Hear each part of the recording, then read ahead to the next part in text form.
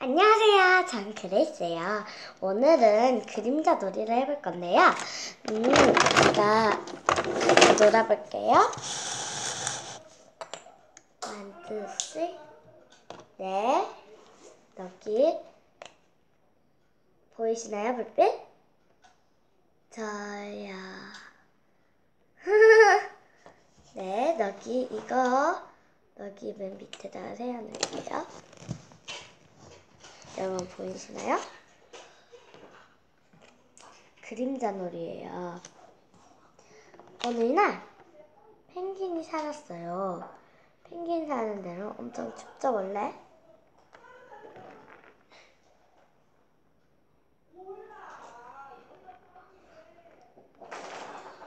펭귄이 살았어요. 근데 그 날씨는 너무너무 더웠어요. 왜 그럴까요? 펭귄 사는 추운데. 그쵸, 여러분? 궁금하죠? 네.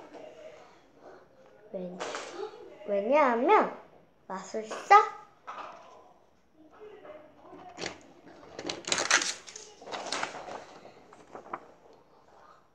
곰이 날씨를 바꿨거든요.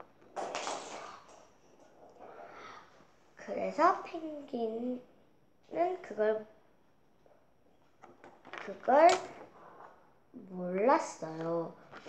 왜 날씨가 더운지만 생각하고 있었죠. 하지만 옛날 옛날에 할머니가 말해주셨어요.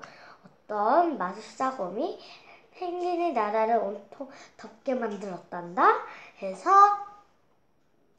그 곰- 마술사 곰에게 찾아가려고 했어요. 그래서 펭귄이 마술사 곰을 찾아갔어요.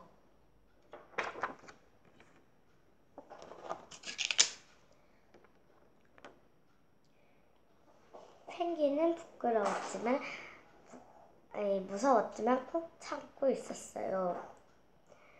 왜 우리나라를 이렇게 덥게 만든 거죠?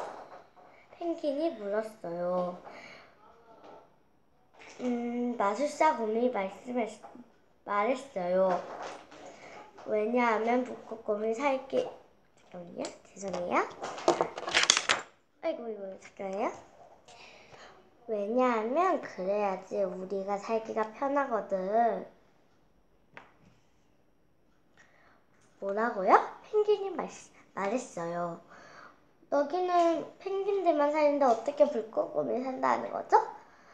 왜냐하면 음, 나는 북극곰 마술사 북극곰 때문에 너네들을 북극곰으로 만들 수 있다. 아니 곰으로 만들 수 있단다.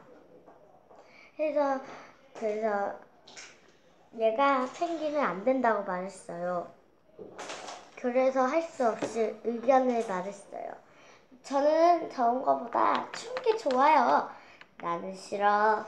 했더니 그래서 좋은 의견이 있었어요. 마술사님이 해줄 수 있다면 해와랑 추운 거를 합치면 어떨까요? 그래 좋아. 해보지 수리수리 마술아 파.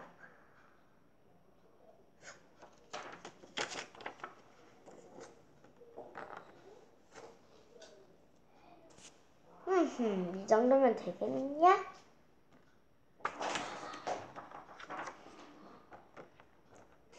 네. 그래. 이 정도만 되면 같이 잘수 있겠지? 네, 감사합니다.